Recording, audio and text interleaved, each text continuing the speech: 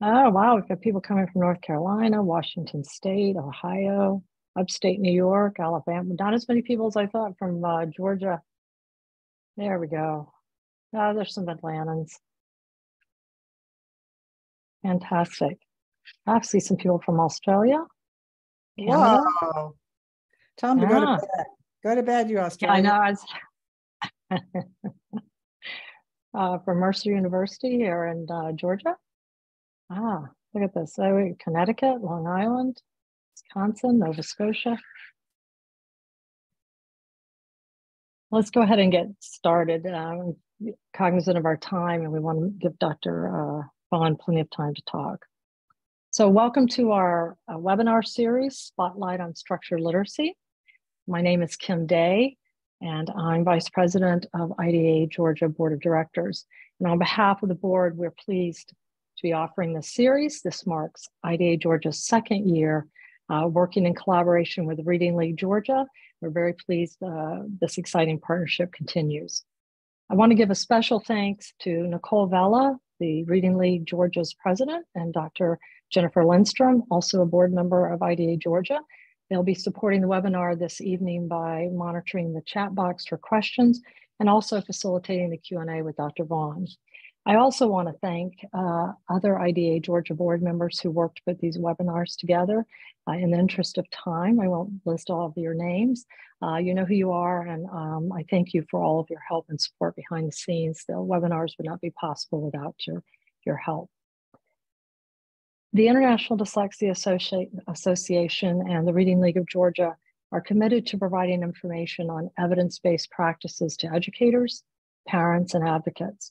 In doing so, we hope all students will have access to structured literacy instruction.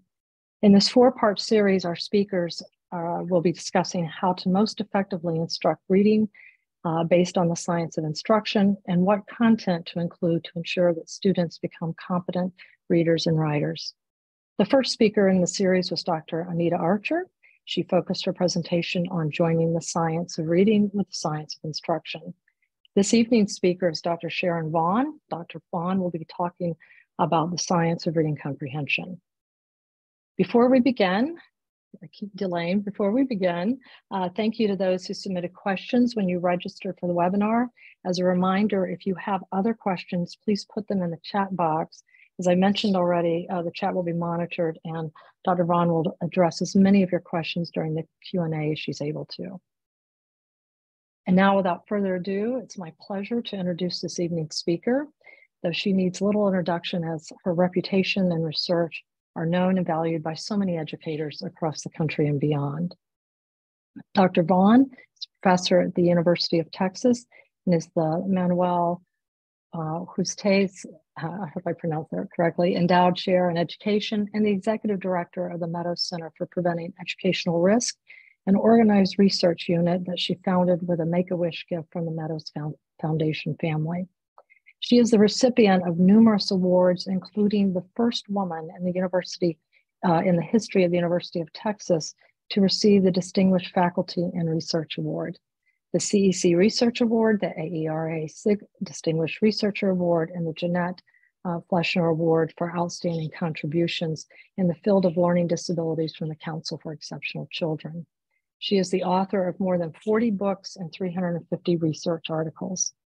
Dr. Vaughn is currently principal investigator on several Institute for Education Sciences, National Institute for Child Health and Human Development, and the U.S. Department of Education research grants.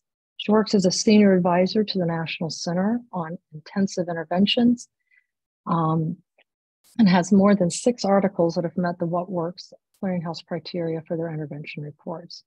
Dr. Vaughn has conducted technical assistance in literacy to more than 10 countries and 30 state departments of education and has worked as a literacy consultant to more than 50 technical assistance projects. Please join me in welcoming Dr. Sharon Vaughn. Oh, thanks. Gosh, that was great. So um, I guess I better share my screen, right? There we go. Is that working for everybody? Can you all see it all right? Fantastic. Okay. Well, first of all, thank you all so much for letting me be here. What an incredible opportunity to speak to so many people. For those of you that are giving up dinner, oh, that is impressive. I hardly ever miss a meal. For those of you in Australia and other places, you're probably getting up at the break of dawn. Very impressive. I also want to recognize my colleague in Georgia, Elizabeth Stevens, who's at Georgia State University, whose research on main idea and summarization has really provided a very significant influence about the science of reading.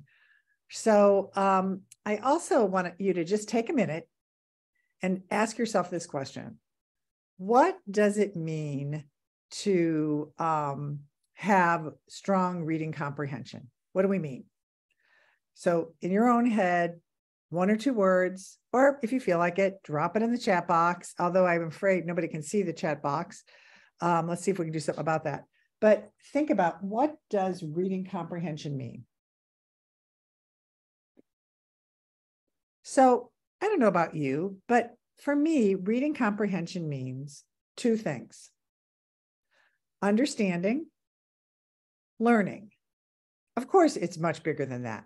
But really, if we comprehend text, we understand it and we can learn from it. And I'm not going to spend much time on this because most of you know about the simple view of reading.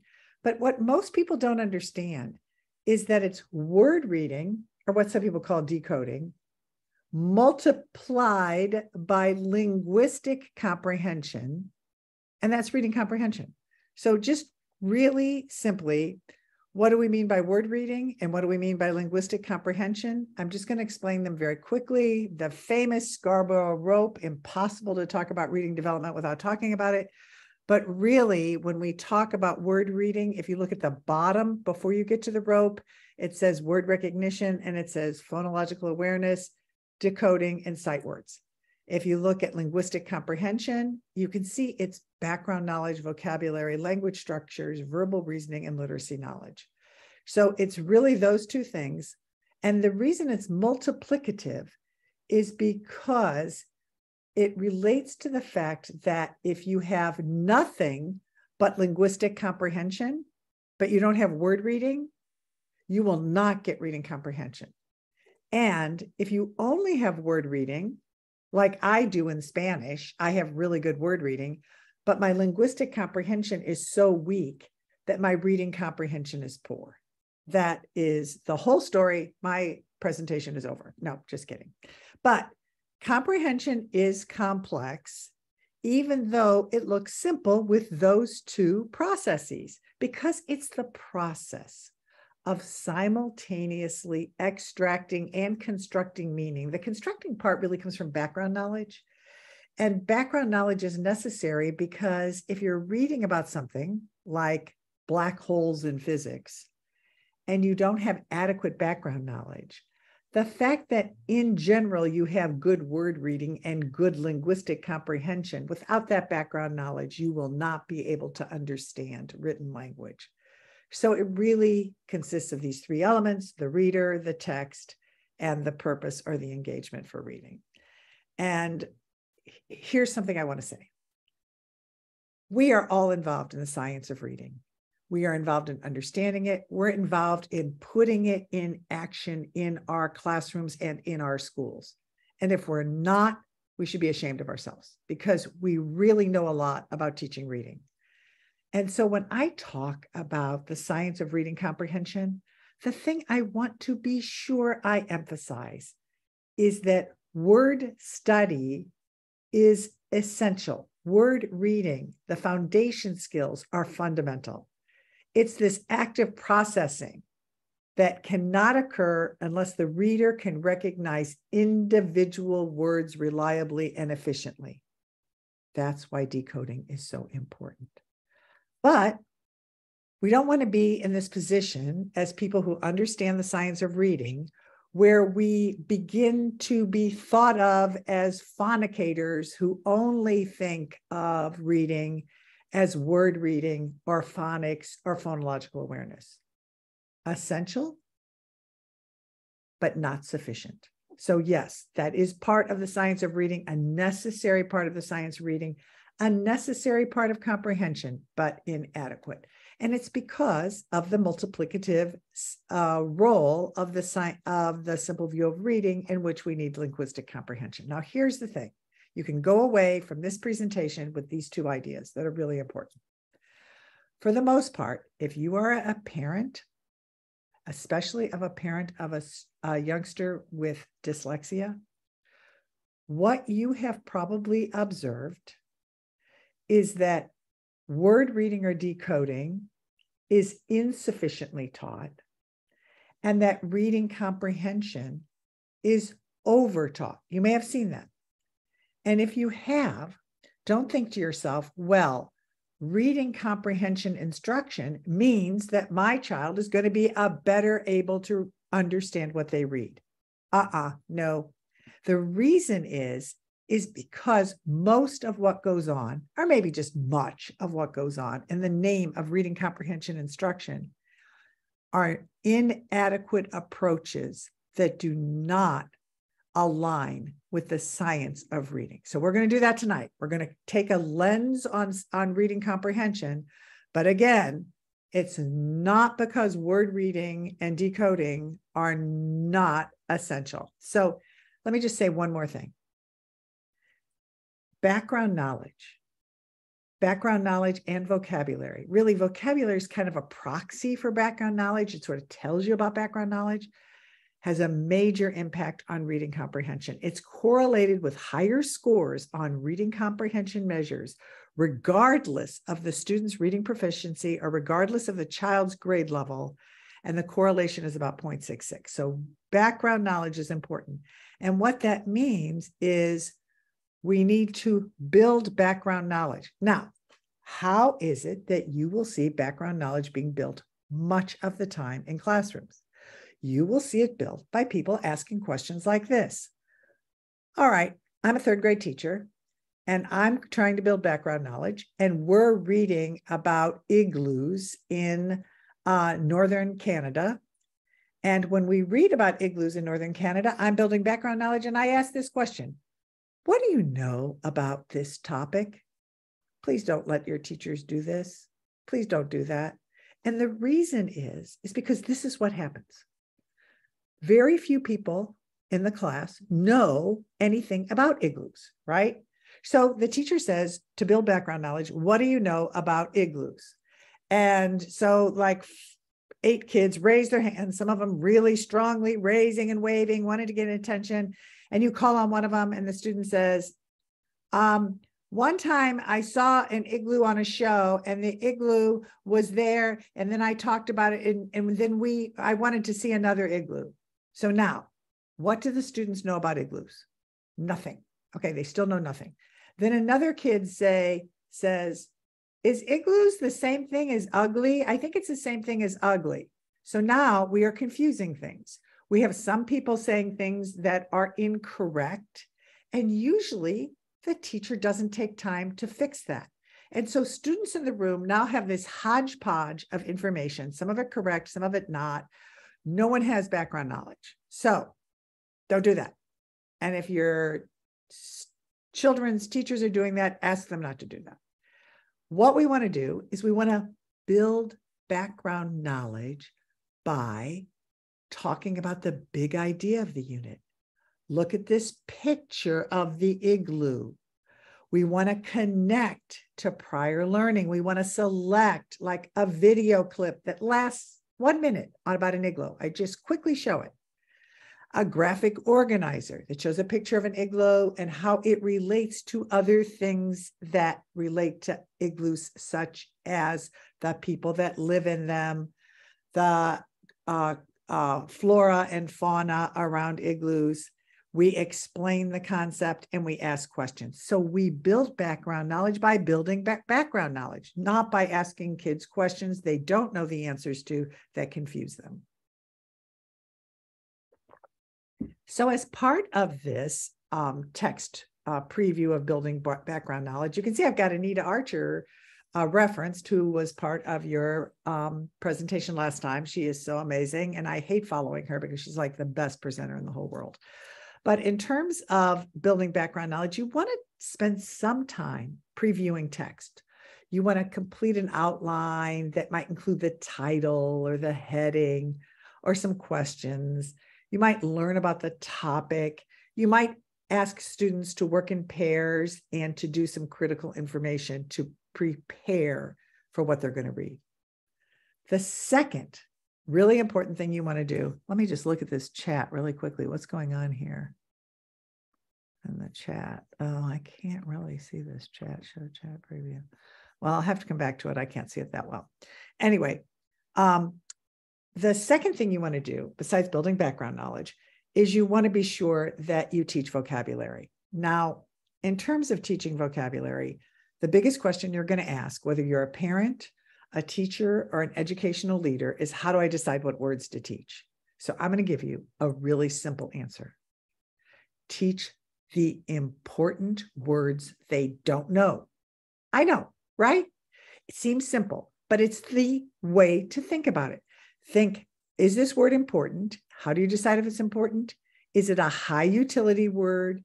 Is it a word they're going to see again? Is it a word that they can learn to build other words from, like equal, equality, uh, equanimity? So once you learn that word, you can learn a lot of other words. So don't worry about it. Teach the words they don't know and teach words that they need to know. Can you teach them all? No. So don't panic. Just keep those two things in mind. Um, think about vocabulary words that students are going to encounter again and again. So they're going to see this word a lot. If I'm teaching a science unit and they're going to need to know about a cell and the mitosis of cells, those are keywords I need to teach them. So when you teach vocabulary, as part of this science of reading comprehension, you want to be sure that you sort of keep two big things in mind that you want to have explicit vocabulary instruction with student friendly definitions and the images that go with them. And you want to teach students to be word learning machines. So, two things explicit teaching, want to do that. Secondly, you want students to become word conscious. Now, what do I mean by word conscious under this word learning strategies? Word conscious means that, and some of you probably do this, you sort of listen for words you don't know, whether you're listening to the radio like National Public Radio, or whether you're reading a magazine, or whether you're listening to a conversation, and you say, I don't know what that word means. And you either have someone explain it to you you read around the word to see if you can learn more about it, or you do what I do and you go, Hey Siri, what does mitosis mean? Oh, by the way, she's turning on right now because I said that. And then you learn what mitosis means. So you want to be able to encourage that with the students or youngsters you have because you want them to sort of always think of themselves as word learners where they're trying to gather and collect words and collect the meaning of words. Because this is why learning vocabulary words is a lifelong endeavor. And we can't teach all the words explicitly. And vocabulary words are the currency, they're the Bitcoin of reading comprehension well, Bitcoin's kind of gone downhill. But when Bitcoin was worth a lot, vocabulary words are like the Bitcoin of reading comprehension, meaning they really are the currency that allows you to understand. So, if I were going to be really simple about reading comprehension, I would say this to you it's two things it's how to read the word, it's knowing what the word means. Honestly, that is like 85% of reading comprehension. Can I read the word? Do I know what it means? So, the reason this is important is many of you are spending way too much time worrying about reading comprehension and thinking I have to find, you know, the 17 reading strategies that my children, students need to know whether I'm in high school, middle school, or elementary school. I have to teach all of these different strategies. Otherwise, they won't be able to comprehend text. Wrong. Most of reading comprehension is vocabulary slash background knowledge and word reading. Now, there are some things we can do. We can teach vocabulary explicitly, and we need to. And we can teach word learning strategies like morphology and context clues. And I'm going to talk just a little more about those. So, like before you read or before you ask students to read, you want to build background knowledge. Remember, I said don't ask what's your background knowledge, but really build it. Give them some information pictures, videos, explanations, explicit vocabulary instruction. And you want them to kind of have a purpose question for understanding while they're reading you want them to ask and answer questions, comprehension monitor with what we refer to in collaborative strategic reading. By the way, I really like collaborative strategic reading, not because my colleagues and I developed it, but because it works. We talk about clunks, and a clunk is when you have sort of a comprehension breakdown. So you're reading a text, for example, and you see a word or a sentence and you don't know what it means. We call that a clunk. And it's kind of like, you know, you're going along smoothly while you're reading and then click. You can't understand what's going on. And we really encourage students to think about clunks. Think about when they run into a clunk and how to resolve it. And we actually teach them to do that. And one of the ways we do that is through get the gist. And then after reading we do a gist a summary and a wrap up. And so i'm going to show you a little more about those. So when we talk about vocabulary remember i said there's the way of making students word conscious and collecting words. We want to do that. So don't forget it and be interested in words. But we also teach words explicitly. So here's an example of one of the ways we teach a high frequency word explicitly because it comes from social studies. And the word is revolution, and you can see it's in the middle. Then we have a picture. And then we have a student friendly definition. And student friendly definitions are really hard to find and write. Um, and then we talk about word associations. So is revolution like song? Nope. Is it like war? Yeah, sort of is. Is it like rebellion? Yep, sort of is. Is it like animal? No. So you kind of have an association. It's sort of like war, sort of like re- rebellion. You have an example by using a sentence, you have word building. And then we like to activate students around the keyword by turning and talking or having an activity. So if you look at the boxes that represent the word revolution here, each one of these boxes is associated with research, the science of reading, if you will, about how to improve vocabulary instruction. And we've just organized them in this graph so that explicit instruction in vocabulary is visible and readily accessible. And so, one of the things that um, we think is important, especially as students move into third grade and above, is morphology. And morphology is the way in which the parts of our language are connected to meaning. So, for example, a base word like friend can be made into a morphologically more complex word by adding ly at the end. So you get friendly and you can make it a, another meaning change by adding un at the beginning. So you get unfriendly. And actually, next to social media, you can get an unfriend. You can unfriend someone. So that by teaching compound words, prefixes, suffixes, and don't forget inflections and root words, you can learn how these elements can be combined in very interesting and complex ways to create meaning. So you get a nice link between word reading and word meaning through morphology. So you want to understand these word parts. And one of the ways you do that is you think about a base word. And so I gave an example earlier of a base word, but another example is observe. And then you can have a word like observation, and you can see how you can teach observed and observing. And you can sort of see how these base words allow you to attach morphemes, which are the smallest units of language that convey meaning, such as plural, and S is a morpheme. And so you can have um, an opportunity to create much more complex words that students both read. It helps them learn to read those words and it helps them to derive meaning, which improves their comprehension. So you don't want to teach every prefix, you don't want to teach every suffix, but there are some common ones that you want to teach. You want to be sure you teach like un and re and in, im, er, ill, which all mean not dis, and you want to teach non, miss, sub, and pre. You want to teach those because they're common and the meanings are more consistent. So they help students read the words, but they also help students understand what words mean. So there's a lot of good stuff coming up in the chat. I wonder if I can, I'm keep trying to see this chat here. Showed. I still can't see it, but I'll worry about that later. Anyway, um, let's move. What's going on? So let's now talk about a few other things related to the science of reading comprehension.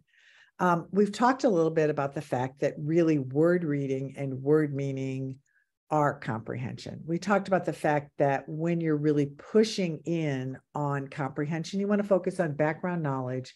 And the strongest proxy for background knowledge is vocabulary. So anytime you can sort of push in on building vocabulary, whether you're doing that, as I mentioned earlier, explicitly, or whether you're doing that by teaching morphological units, or whether you're doing that the third way. Anybody remember what the third way is? Making students word conscious, powerful. In fact, in many ways, it's the most important way. We want students to be word mongers, word kings and queens who collect words and consider them really valuable and important and practice using them. And as they read, they look for words they don't know. So we know background knowledge is important. We know word reading is important. So let's talk a little bit more about reading comprehension. Let me just say one thing reading comprehension practices is a really good example of less is more. Ah, what do I mean by that? What I mean is that many, many people believe that you teach reading comprehension. Listen to this. You don't teach reading comprehension. Reading comprehension is an outcome from your teaching. That really makes a difference. You do teach word reading, you do teach phonological awareness, you do teach phonics, but you don't teach reading comprehension. Reading comprehension is the product of word meaning, things like vocabulary, background knowledge, basically linguistic comprehension, and word reading. And so it is the outcome of it. Now you can support it and promote it. And the way you can do that is you can build background knowledge and you can build comprehension, but you don't teach it. So, what are some of the ways you can build or enhance comprehension? You can really think about a purpose for reading and getting students to think about some text structures. And my colleague, uh, Dr. Elizabeth Stevens, is probably going to be talking about that in, um, I think it's session number four. This one is session number two, it's session number four. So stay tuned for that. It's going to be really interesting. And then we also want to think about how to model um, reading these text structures. And I'm confident that Elizabeth Stevens is also going to talk about that. Now, here's the other thing we want to teach students what to do during reading because it is here where many students with reading challenges kind of, if you will, fall asleep while they're reading. And what I mean by that is that they don't really do enough of asking and answering questions while they're reading. Here's a question. You know, I just read that sentence, but I don't remember how that fits in with what I read earlier oh, who is this? So you ask questions and you go back and reread, you do repairs. It kind of reminds me of this. Have you ever, like on the weekend, had a half an hour to sit and either read a book or a magazine or a newspaper. Now, I know that might sound like a luxury, but let's pretend you once did that. So you sit and re- you're reading, and all of a sudden your mind is wandering, and you realize you haven't been paying attention to what you've been reading. You're somehow your eyes are moving over the words because you can read effortlessly, but you're not really putting it together in a way that makes any sense. And so you have to go back and reread it. You have to repair it. One of the things weak readers do not do is they don't ask themselves while they're reading, what's going on? What's happening? Two simple words. If you can encourage your child or the students you teach to just ask yourself that, what's happening? What's going on? You'll improve your reading comprehension. Because really, falling asleep while you're reading, plowing through words, pushing through text is not reading. It's when you really are engaged in a way that you wonder about what you're reading. That's why the question, what's happening, is really important to teach students to ask themselves. The second thing is, I talked earlier about clunks. You want students to develop this sense of monitoring their comprehension. Do I get it? And if I get a clunk, how do I fix it up? So to really kind of check in and then the other very important practice that we value, and I'm going to show you how to do, teach this, is get the gist. And basically, get the gist is what's the most important thing? What, what just happened? What's this about? What, what should I be learning? And then after you read, you want students to be able to put these gists together to create a summary and to continue with vocabulary and wrapping up. So let's do some examples. Now, when you're reading, the simplest question to teach students to ask is who? So, like, who is doing that? Who was the key person?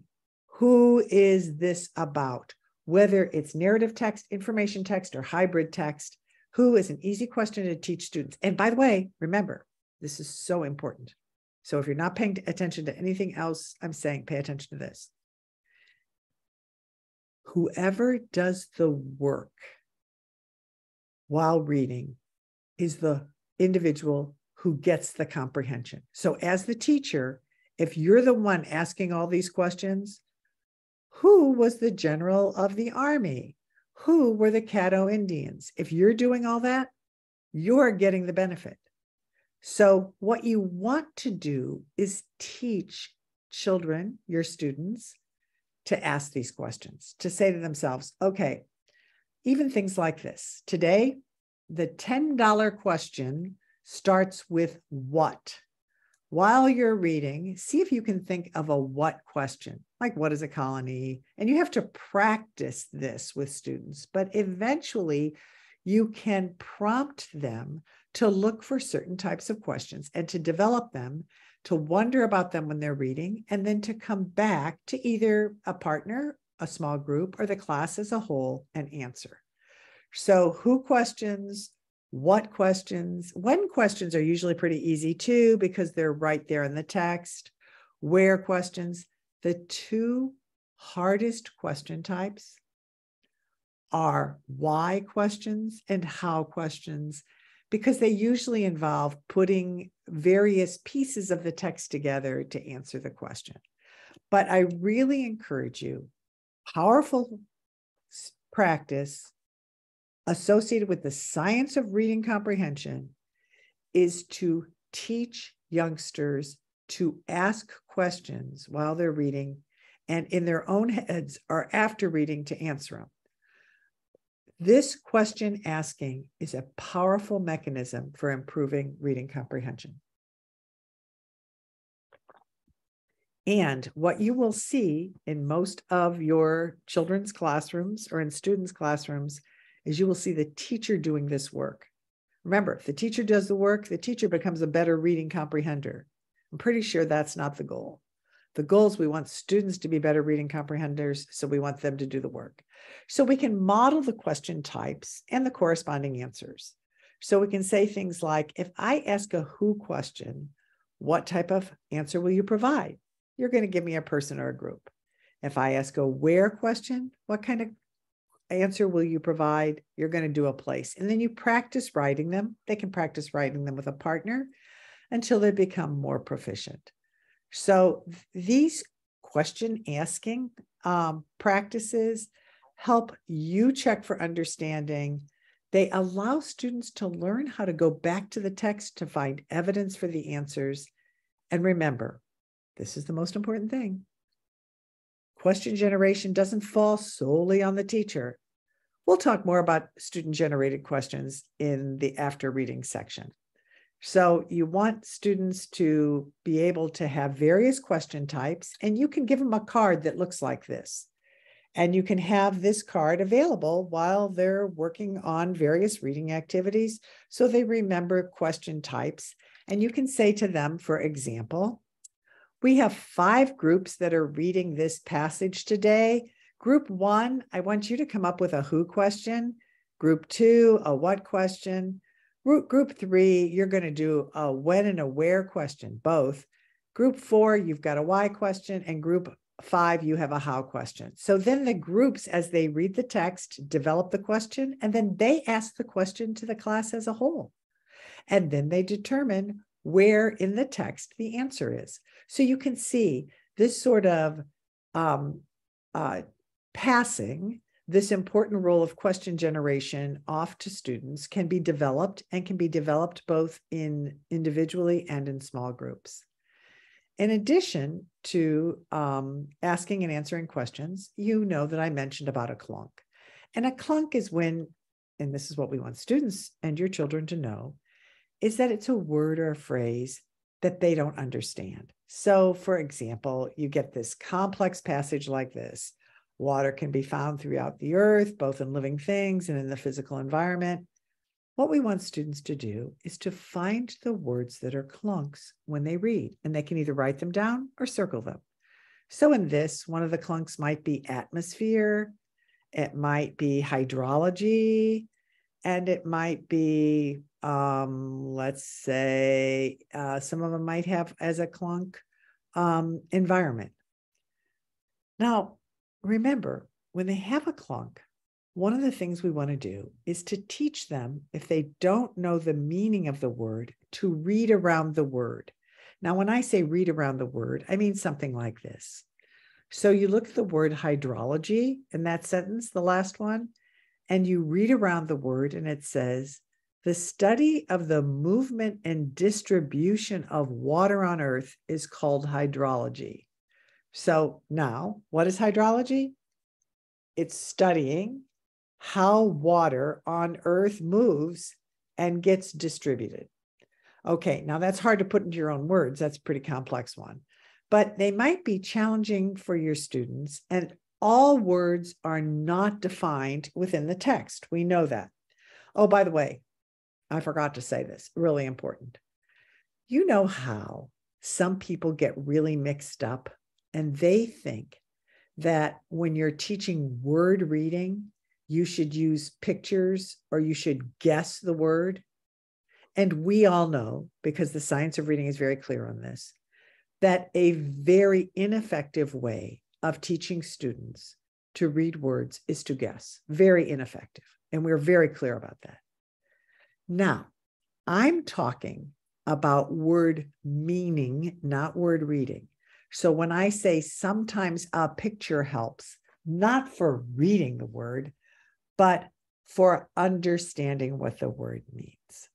So when we talk about clunks, what we're talking about is there's two kinds of clunks. There's clunks where you don't know how to read the word, and there's clunks where you don't know what the word means. When you get a clunk where you don't know how to read the word, we want to bring our decoding, our knowledge of decoding, our knowledge of phonics to the word so that we can read it. When we have a word that's a clunk where we don't know what it means, then we can use context, we can use pictures, or sometimes we have to use someone who knows what the word means. Now, also during reading, remember I mentioned that we pay attention to get the gist or the main idea. And so when you want and by the way, you don't want to teach every reading comprehension strategy, but this one is another important one. we want to teach students to generate my main ideas by um, helping them understand that the gist. And you can use a cue card like this. You want students to understand the most important who or what in the paragraph, and you want them to know the most important idea about that who or what. Now, we always say write the gist in about 10 words or less.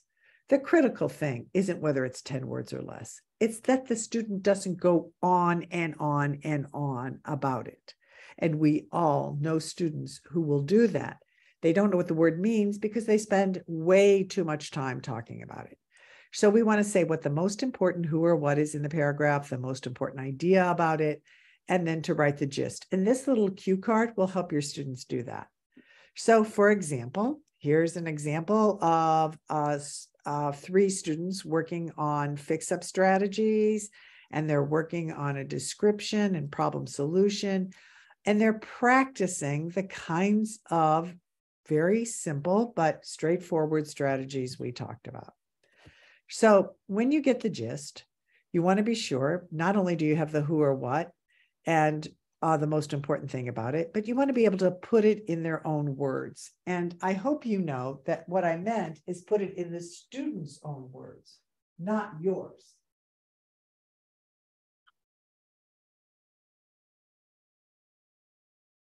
So I just had to turn on the lights because it just got dark in here. I forgot about the sun setting.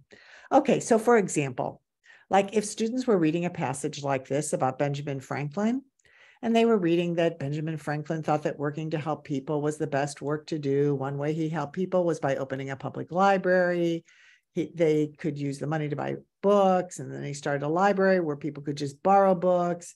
And today, almost every town in the United States has a public library. Okay, now let's practice doing the gist. So, who or what is this about? It's Benjamin Franklin. And what is the most important idea about this um, passage, and it's that he started a library so people could borrow and read books. Now, is there only one way to write the gist? Oh, no, there's a lot of ways to write it. But the most important thing is that students learn how to put it in their own words because that will be the prompt for doing the other things we talked about with respect to the science of reading comprehension, which is to monitor what they read for clunks and to think about what's this about while they're reading. That's the essence of it. The purpose of Get the Gist is to sort of, again, get students to think about what they're reading. So, if you were going to do a Get the Gist practice, you might take a passage like this from William Shakespeare, and you might have students read this, and then you might have them pair up and practice um, talking about what the most important uh, who or what is. In this case, it's Shakespeare, and what the most important thing about this passage is. And then you might want to have uh, partners share their gists. So you could have four students, partners uh, sharing with each other. And then you could have them then compose a gist that takes advantage of the two gists that were already written. So this is a way to improve their ability to write gists. And so um, we talked so far about what you could do before reading, like building background knowledge and vocabulary. And then we talked about what you could do during reading, like asking and answering questions, being sure to teach students to think about clunks and get the gist. And now we're going to talk a little bit about what you can do after reading. Now, I think you probably remember that I said one of the um, most challenging things is to um, teach too many strategies. That's why I want to organize them very clearly for you so you teach the ones that are associated with the science of reading comprehension. And so once students learn how to write gists, the next uh, practice or strategy that is really helpful for them is to learn how to put these gists together in a summary.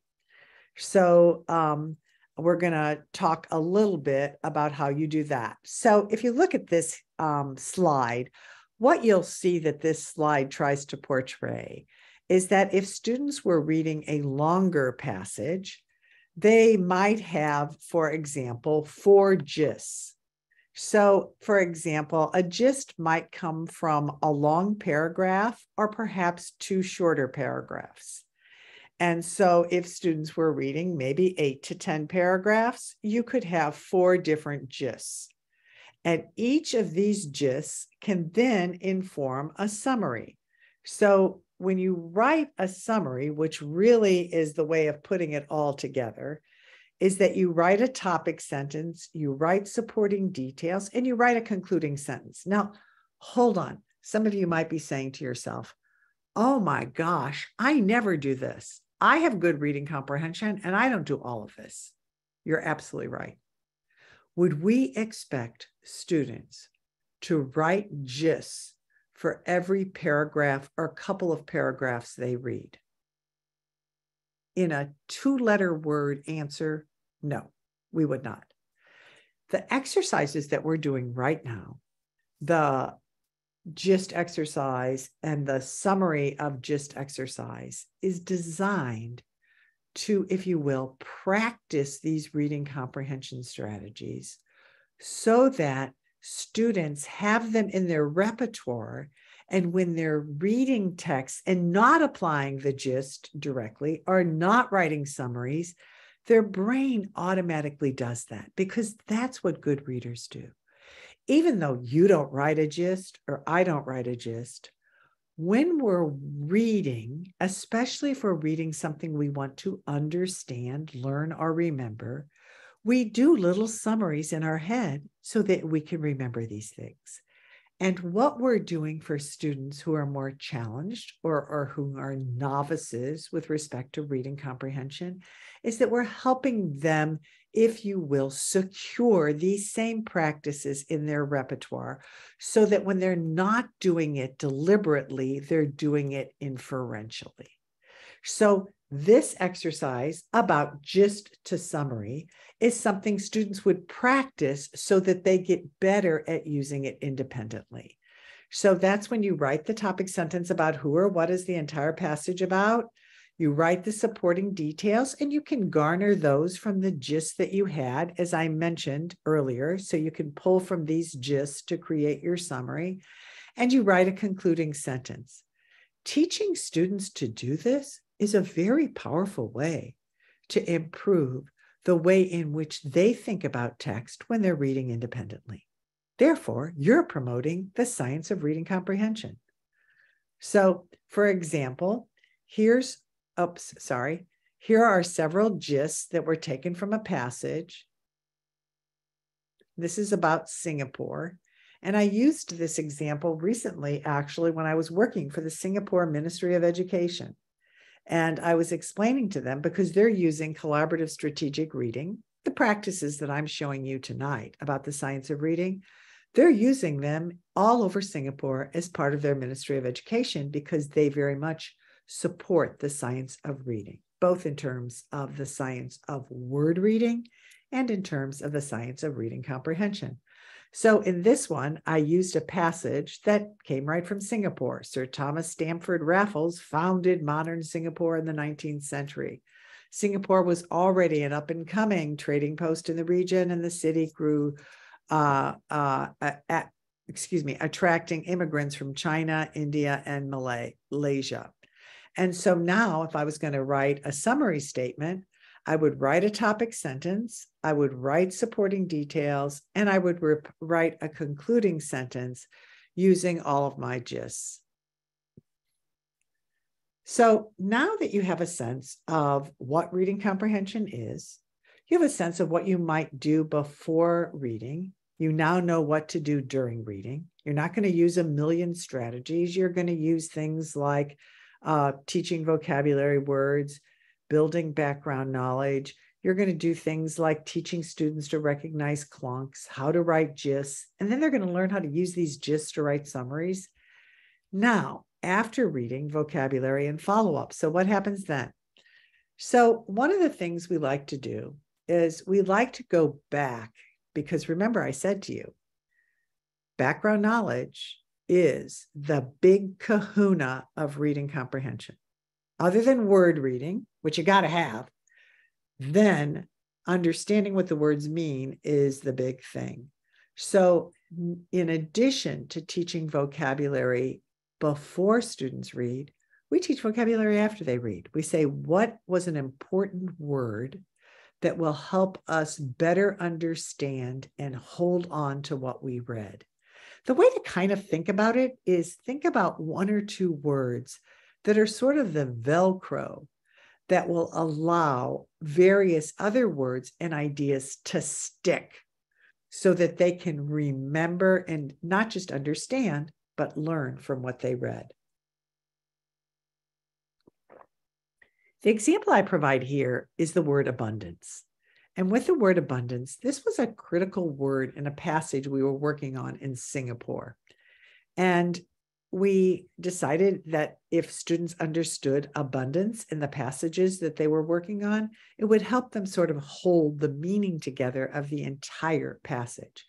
So I said to you earlier, when you use a um, graph like this one, what's valuable about it is you don't need all of the components, but all of these components have been associated with understanding and retaining keywords.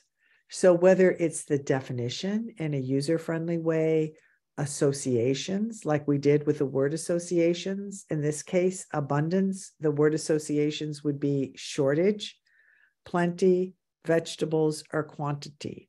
Now, a lot of people put, uh, select vegetables because there's a picture of vegetables. But the picture is designed to portray an abundance of vegetables. It could be an abundance of anything. Of course, an example, and then we always like to put it in practice with a turn and talk. We also like to have a wrap up. Now, when we mean wrap up about reading comprehension, we're really talking about the, going back to some of those practices that we talked about earlier and putting them together, like asking questions. Remember, I said to you, we want to teach students to ask the questions. We might even ask them to ask particular types of questions, like a what question or a where question.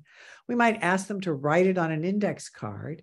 And then when we read the entire passage, either in small groups or pairs or by themselves, we can do a wrap up in which we say, okay, each of you has a question um, take turns asking your question to the class as a whole and see if they can answer it. And it also helps improve question asking. So they don't have to ask 10 questions, they can ask one question or two questions. It really helps them remember what they read and helps them learn from it. And it also serves as a way to review what was just read. So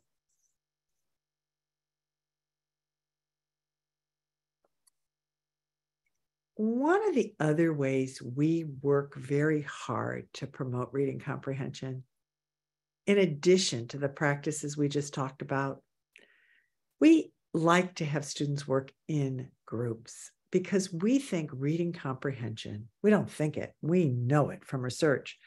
Reading comprehension really comes together better and more efficiently when students have a chance to talk about it and to work with each other about it. So doing things like get the gist and vocabulary maps and summarization can be done solo, but they can also be done in small groups and pairs. Um, I want to give you some really important closing thoughts about the science of reading comprehension. First of all, I want to say that um, if we want to know how to really improve reading comprehension, oops, sorry. One of the ways we can do that is we can provide interventions for students. And if I ask many of you, are you in your right now in your schools, are parents, is your child involved in an intervention around reading comprehension? You might say yes. And I would say to you, this is really important. Reading comprehension interventions will always be necessary but they will also always be inadequate. In order to really improve reading comprehension, you need school wide impro- approaches to enhancing these pressure points. What I mean by that is that all teachers in the school need to use the practices we just learned about to promote the science of reading comprehension. You cannot rely on intervention teachers to do it all. Every teacher, whether it's the first grade teacher, the fifth grade teacher, the middle school teacher, or the high school teacher, whether it's the social studies teacher or the English language arts teacher, these comprehension practices are not for intervention alone, but they are part of the school wide approach. Here's the other thing about reading comprehension without enhanced word reading, in other words, we do have to make sure students have the foundations of word reading, vocabulary, and background knowledge. Reading comprehension will remain underdeveloped. That's why it's a school wide mission. So, whether you're a parent or a teacher or a principal, the practices that I talked about today are ones that I encourage you to integrate school wide. The second platform is that reading comprehension has to go across the entire content area. So we need school wide approaches for enhancing vocabulary, background knowledge, and reading comprehension not just in third grade English language arts, not just in fifth grade reading, but social studies and science. And you know who we really uh, are very successful at get getting to teach some of these vocabulary and comprehension practices is the math teachers. So all across the second, the next platform is that we need to have purposeful peer interaction. So if you say to teachers, how often do you use peer pairing or small groups to support reading comprehension? I can tell you what the answer is. The answer is all the time. How often do you do this? All the time. Observation studies after observation studies show that purposeful peer interaction purposeful small group interaction is inadequately used. And when I say purposeful, I mean they're doing something on purpose. They're not just working in a group to figure out a worksheet or to answer a silly question. It has real meaningful activities like the ones I talked about tonight. Platform number three. This is super important. I put it in two words. The words are more reading. I just got to tell you, deliberate practice is the secret sauce to success around reading. We are not going to have our children become better readers if they don't read. You walk into classrooms and teachers are doing all the work.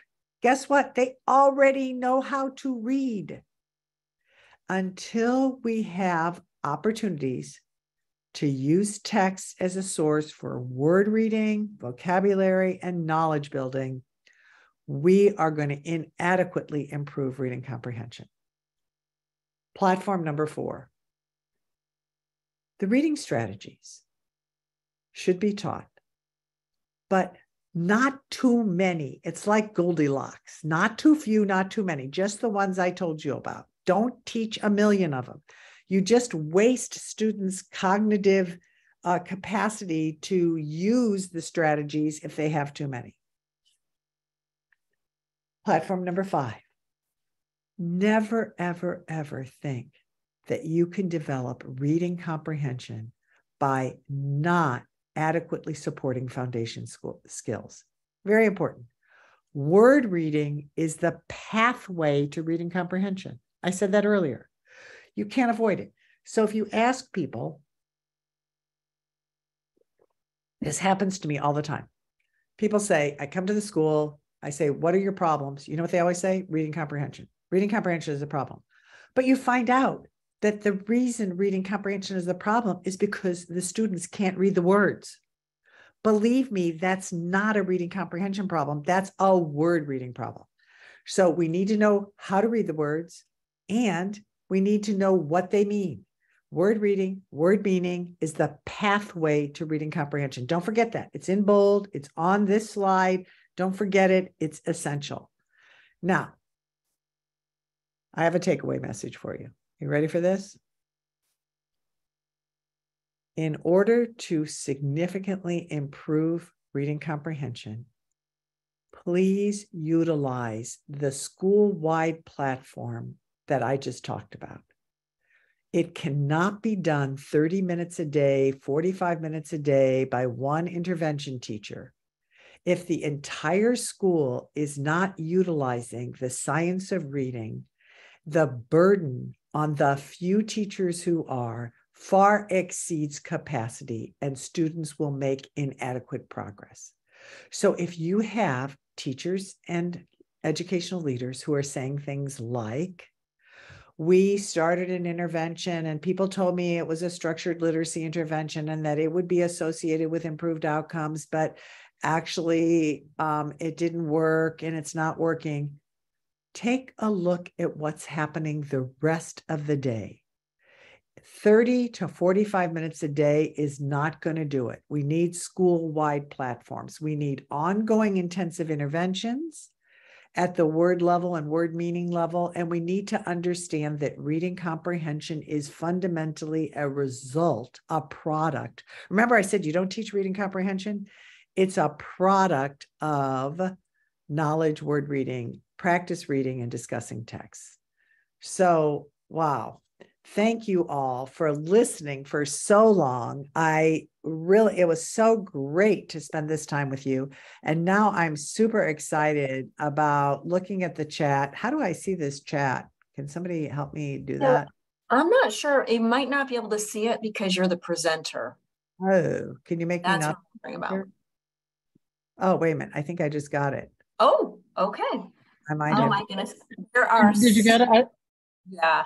I- I also think if your if your presentation is full screen, Sharon, that it will be Oh. difficult to see. Minimize and not minimize it, but make it smaller so that you can actually try that. Okay, let me see what I can do here. Okay. Um, you know, I've only been doing this for like two years. You'd think I'd be a pro by now, right? Okay. Let me see. I think I just did it. All right. How, uh, so chat people, pouring in the chat. Let me just um tell you a couple of things that I want to talk about because these questions kept coming. So one of the questions that I've heard like a lot is how can we assess reading comprehension? And even more importantly, how can we progress monitoring uh, reading comprehension?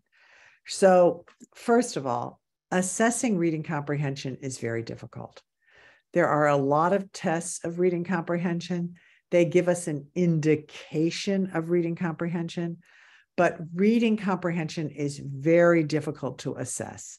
Um, the main way that reading comprehension is assessed is that youngsters are asked to read almost always silently a passage, typically a fairly short passage, and then they're asked a series of questions. And these questions are typically like test questions, even more than reading comprehension questions. So the the reading of all of the reading measures we have, whether it's phonological awareness, phonics, word reading, fluency, vocabulary, the weakest measures we have are measures of reading comprehension. So they certainly give us an indication. They're certainly better than nothing, but I don't find them very diagnostic.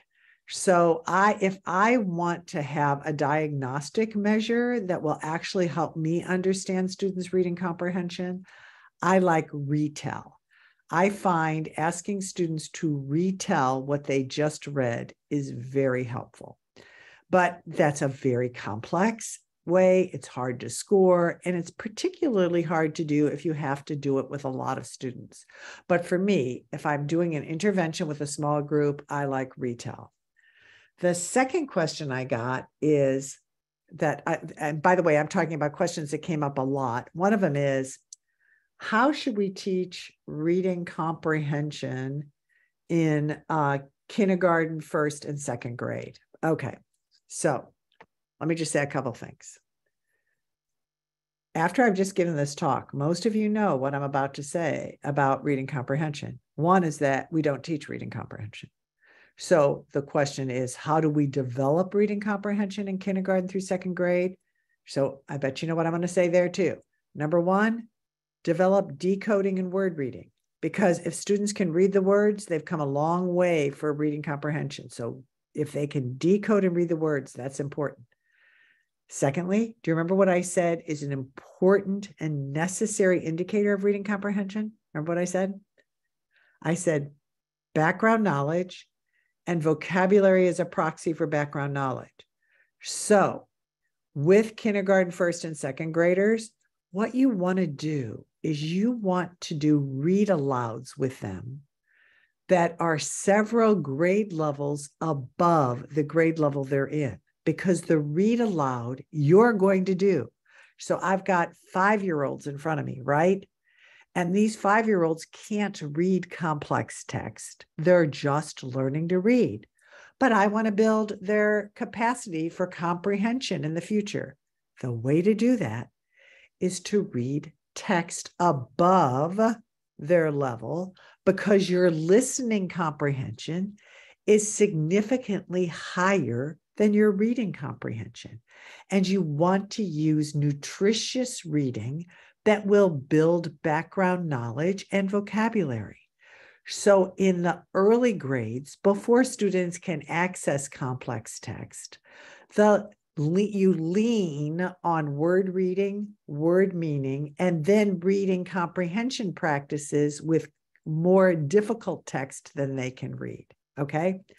So now those were two questions that came up. I have a whole bunch of other questions, but we've got this big chat going, some of which I can actually read. Uh, let me see.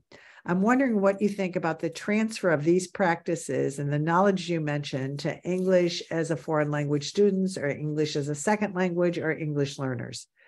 Let me tell you something.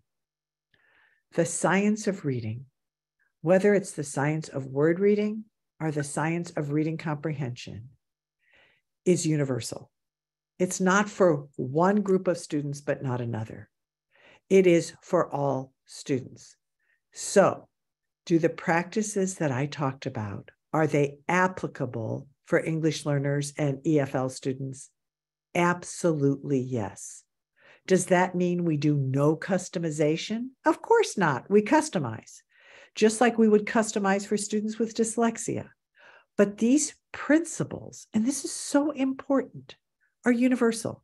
So, as smart and careful and thoughtful teachers, we think about who we teach and we think about how we customize and respond to them.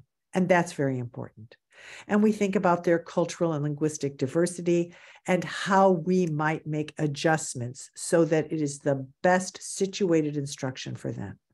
But the overall practices, the truths I speak about the science of reading comprehension are not specific or unique to a particular population. So thank you so much for asking that question because I think it's really important. Um, Hetty Allen says, um, in a read aloud, I take it you mean the teacher is reading to the students. That's correct. That's exactly what I meant. Um, Let's see. I think who's helping me here? Is that supposed to be Nicole? Are you helping? That me? is me. Yeah. Hey, Nicole, help me out. Are there some other good questions here I ought to be jumping on? Yeah, there definitely are. Um, so there was one that came up pretty early on. So I don't think you saw it, but it was when you were talking about um, teaching background knowledge and not just throwing that blanket statement out there asking children what they know. Somebody asked about that strategy that is that KWL strategy. Yeah. Uh, yeah. So what would you say about that? So so here's the part of KWL I think needs to be fixed. The what do you know?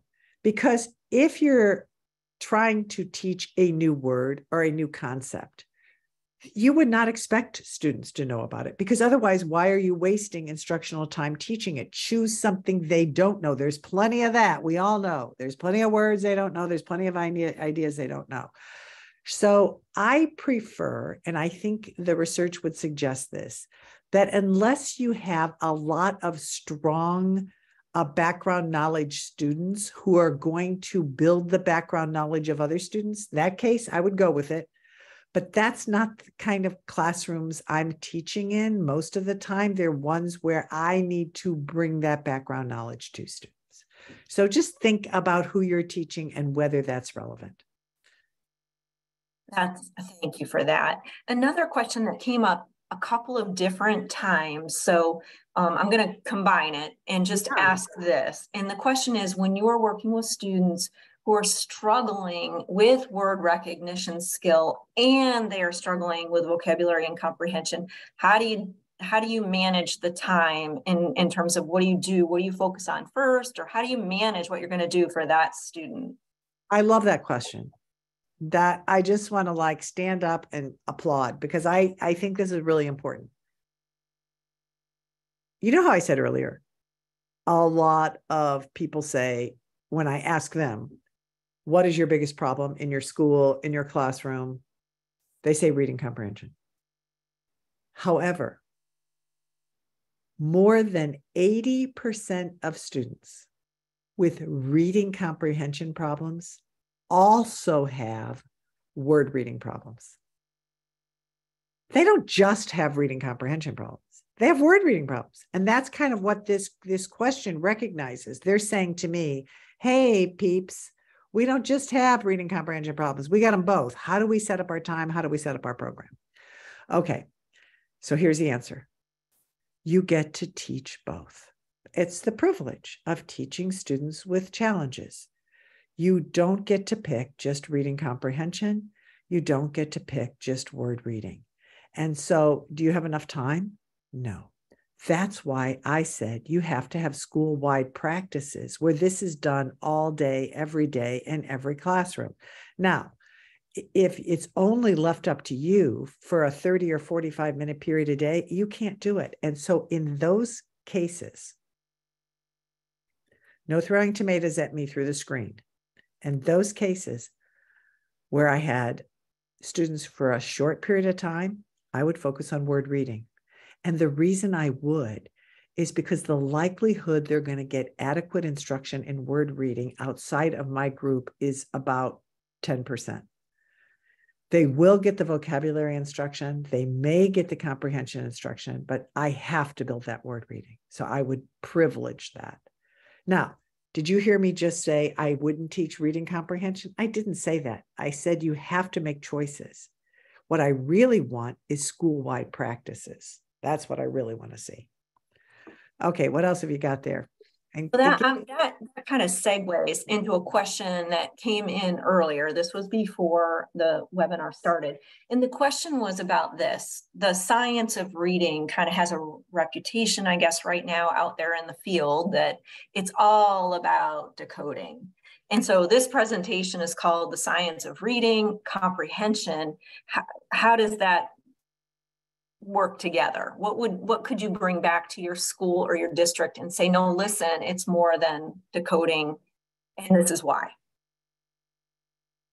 Yeah, I have heard that too. Honestly, I think it's just like in some ways it's sort of like we have overemphasized. I don't know who the we in that sentence is, but we've probably overemphasized decoding, phonics, word reading as we talk about the science of reading. But the reason we have is because it has been inadequately taught. I mean, it's not our fault that people have been using practices that are not aligned with the science of reading when it comes to teaching decoding and word reading. So we've had to lean in on that a little bit. Also, I think it's because we have assumed that reading comprehension practices have been well taught. And I think that, as I hope you have taken away from my presentation, that's not true. So, as we get more comfortable recognizing that the science of reading is, of course, word reading and phonics, but it's also vocabulary, fluency. We didn't talk about fluency tonight. You know, fluency is really important. We should have a session on that we need to have a whole session just on fluency because that is really important. People just think it's repeated reading over and over again until kids like are ready to like stop reading. But um, the point about the science of reading is that it's what we have learned about how we develop readers. It's what we have learned about the way the brain functions. I mean, first of all, people get so confused they think that language and reading are the same thing. And they're so different. Like we are hardwired as human beings. Our brains are hardwired to acquire language. You know, interestingly enough, hey, you know what, Nicole? If you and I were born in Paris and grew up in Paris to French speaking parents, guess what language we would speak? It's not English. So, well, what I mean is we're hardwired. If we're exposed to language, we're going to learn language. We're language learning machines. Learning to read is a relatively recent thing for our brain to have processed. We're not hardwired in the same way we need to be taught to read. And so, because of that, and because we've been pushing against that for so many decades, and people have been developing practices that lean on reading developing naturally, which are inadequate, we have had to emphasize word reading. But the science of reading is how reading develops, and that includes all the components of reading. I don't know if that's helpful, but what yeah. do you think? Nicole? I think that's very helpful. Um, so it's funny you said uh, repeated reading because actually Wendy posted a question and her question was, what are your thoughts about repeated reading in the framework of comprehension? Yeah. So, um, oh gosh. So remember, I have like, I think like you need to do like a whole thing on fluency. Okay. So Wendy, fluency, oral reading fluency, particularly in the early grades, particularly below fifth grade, is an excellent indicator of comprehension. So, second grade, third grade, fourth grade, students' oral reading fluency predicts reading comprehension exceedingly well. And it's because at those early grades, word reading and and doing it effortlessly allows these young children's minds to think about what they're reading.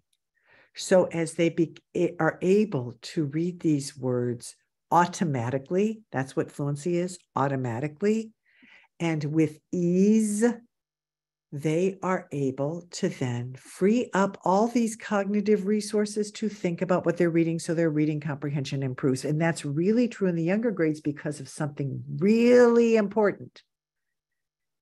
It's because, remember when I talked about the definition of reading comprehension? It's because the background knowledge in first grade, second grade, and third grade is not very complex, right? So the load for reading comp- comprehension can really come from the indicators like oral reading fluency.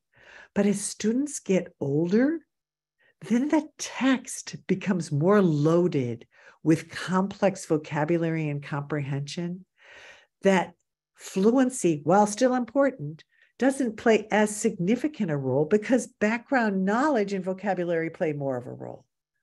So I don't know, Wendy, whether I answered your question, but I hope so.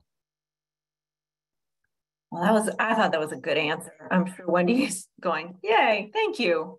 Well, um, Nicole, did I get a B plus on that answer? Oh, I will give you an A. Definitely. That was that was good. Yeah. And I'm keeping score. I'm I got it all going on here. Um, I hope I didn't haven't gotten any C's yet. No, uh-uh. okay, good.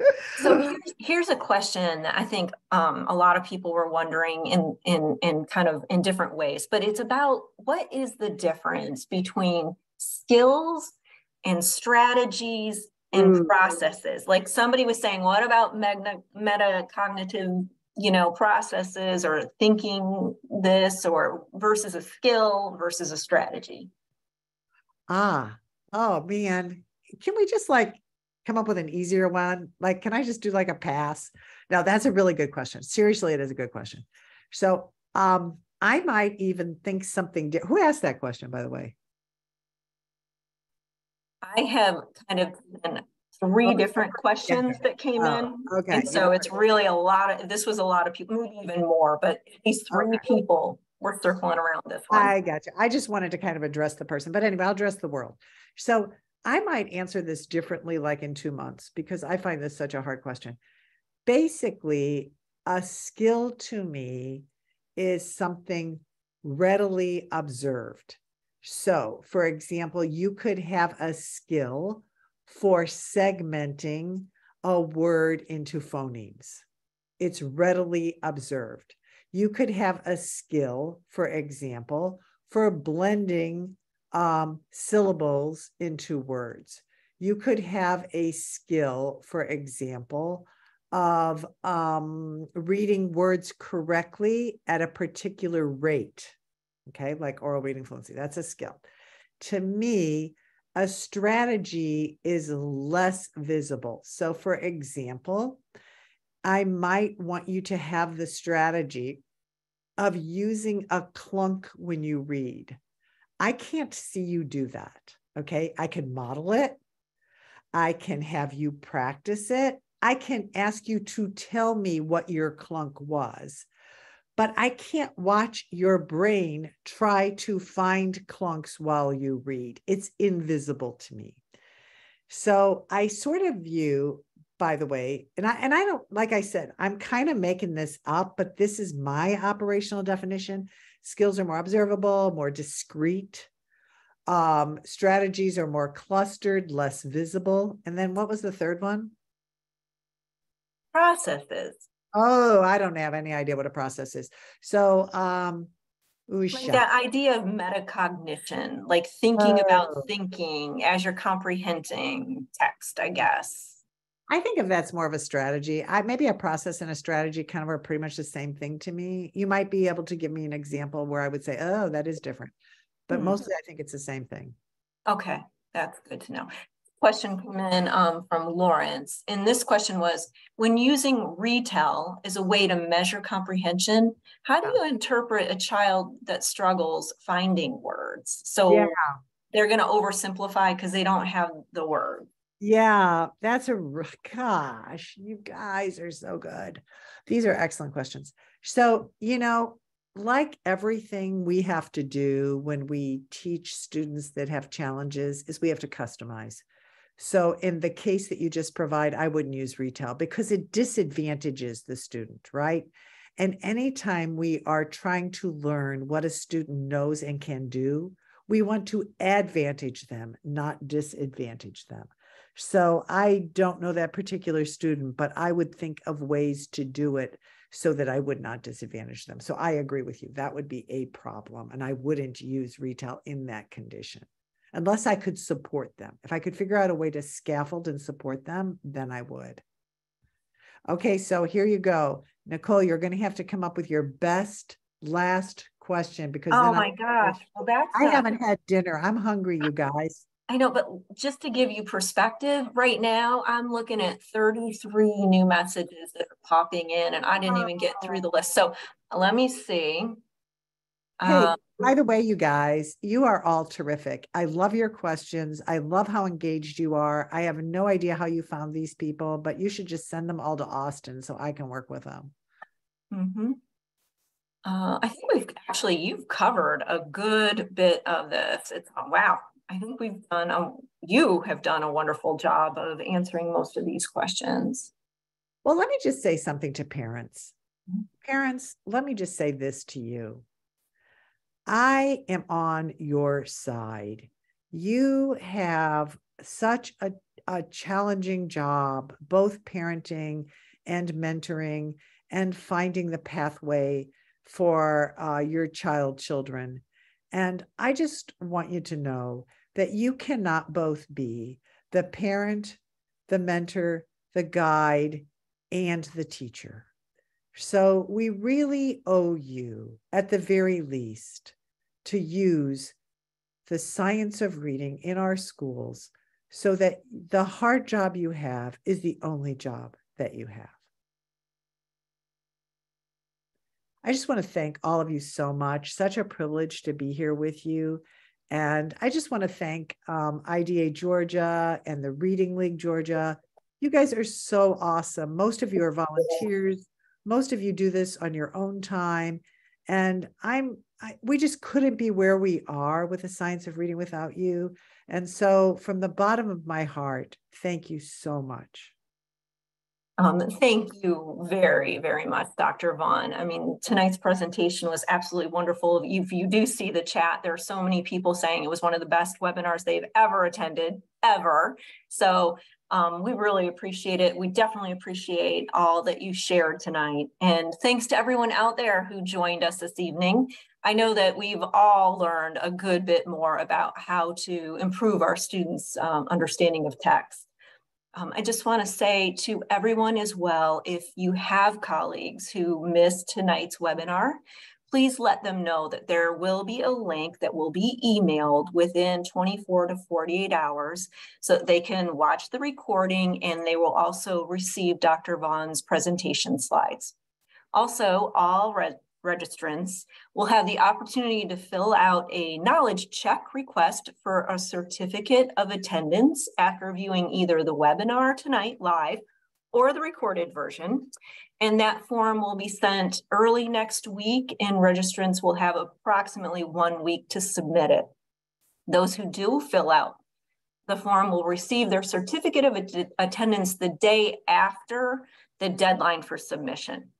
And then I just want to say that our next webinar on the Spotlight on Structured Literacy series will be on Wednesday, March 1st at 7 p.m.